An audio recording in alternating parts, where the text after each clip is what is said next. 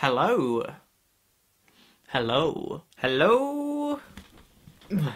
Hello. Today's video blog is brought to you from my little sister's bedroom. That's not weird, is it? So I've come home to Bath to visit my little sister and my mum because it's my little sister's birthday today, and uh, I wanted to come and celebrate the fact that she's still alive with her 15 years going. Well done, Bridie. And I wanted to film in Bridie's bedroom today because this used to be my bedroom, if you can believe it. I mean, it looks very, very different now with all of the kind of fashion stuff and it smells like girl and it's very frilly and things. It's a bit weird for me. But this is the room that I made the vast majority of the videos that are on my YouTube channel, so I had to, I felt like I had to be here, so Yes, hello. Yesterday, I felt the urge to do something a little bit different, and so I made a Vlogbrothers-esque Thoughts from Places style video about Bath, where I am at the moment, my hometown. And I'm going to share that with you now. So, I hope you like it and stuff. Alright, bye.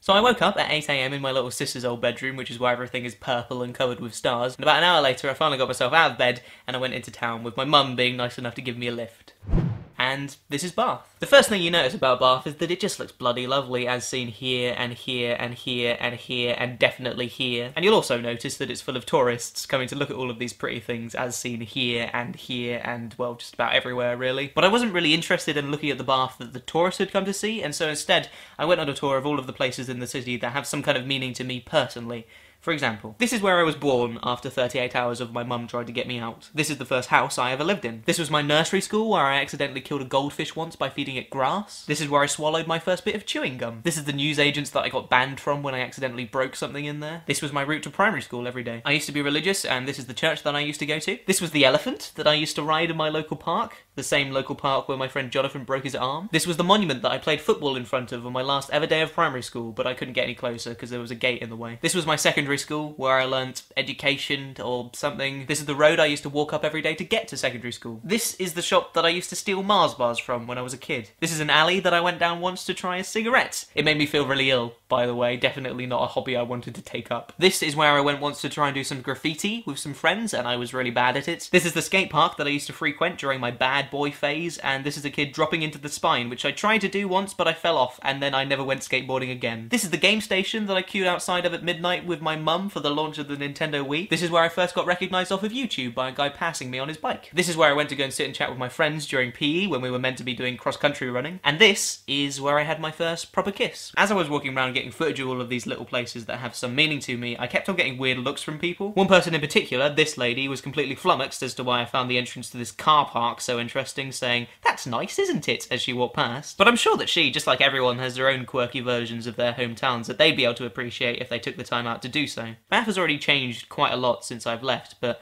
the bath that exists inside my head, my bath, hasn't really changed at all. And if you ever get the chance to just wander around your hometown for no reason other than just to be a bit nostalgic, I would definitely recommend it. By the way, did you know that Bath has a mineral water hospital? I, I really, I don't understand why mineral water needs its own hospital, so if anyone can explain that to me, that would be really good. Thanks. Also, here are some sheep. Okay, bye. Uh, you've just had the almost imponderable joy of watching Charlie is so cool like, which makes you like cool.